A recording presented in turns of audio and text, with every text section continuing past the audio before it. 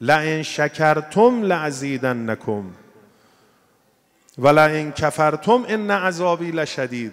میفرماید اگر شکر گذاری کنید نه تنها نعمت رو بر شما زیاد می‌کنم میفرماید که خودتون رو زیاد می‌کنم خودتون رو بالا لعزیدن نکم یعنی وقتی تو شکر گذاری کردی یعنی لایق بالاتر از اینام هستی.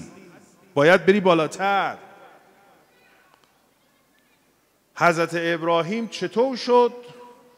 لایق پیامبری شد؟ قرآن میفرماید به خاطر اینکه شاکر بود. پیامبران الهی چطور به این مقام رسیدن؟ به خاطر اینکه شاکر بودن. به خاطر اینکه شاکر بودن.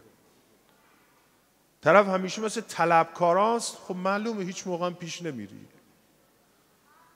تو حداقل شکرگزاری رو در برابر خدای متعال با این همه نعمتی که حالا بعضیش امشب برات میگم و خودتونم می‌دونید. انجام نمیده. بعد توقع داره که همه عالم آدم هم براش برسه. نه خیر آقا. البته اینم بگم ولا این کفرتم ان عذابی لشدید. معنیش اینه. یعنی اینکه خدا میگه وعده حتما باید تحقق پیدا کنه. اینو یادتون باشه. خودتونم می‌دونید. اصلا عرفم همینو میگه. یعنی وقتی من پدر به بچم میگم بابا اگر تو نمرهات خوب شد معدلت خوب شد من یه دوچرخه برات می‌خرم. یه فلان وسیله کامپیوتری برات می‌خرم. فلان چیز رو برات می‌خرم. فلان سفر رو می‌برم. اگر نبرم اطرافی ها منو نکوهش نمی‌کنن. میگن حاج آقا تو به بچت قول دادی ها. این که قبول شد معدلش 20 شد که. نکوهش می‌کنن منو.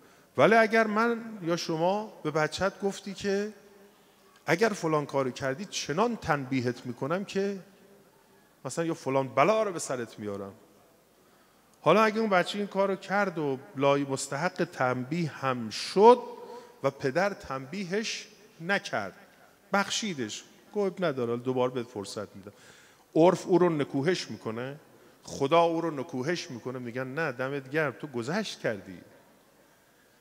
در مقابل وعیدها یعنی ترسها تهدیدها انسان اگر گذشت بکنه همه او رو تشویقم می‌کنن تشکرم می‌کنن. اما در مقابل وعده ها اگر کسی کوتاه بیاد کوتاهی بکنه همه نکوهشش می‌کنن. چرا نکردی؟ خدا در مقابل وعده میگه لئن شکرتم لعزیدن نکم این قطعیه. اما لئن کفرتم ان عذابی لشدید. فقط داره هشدار میده میگه بنده من عذاب من شدیده. اما اینکه آیا حتما عذابت می‌کنم؟ نه شایدم نکنم. فقط گفتم بدونی که عذاب من شدیده. چه خدایی داریم؟ یا من سبقت رحمته غضبه که رحمتش همیشه بر غضبش. این کلمات همه حساب شده است.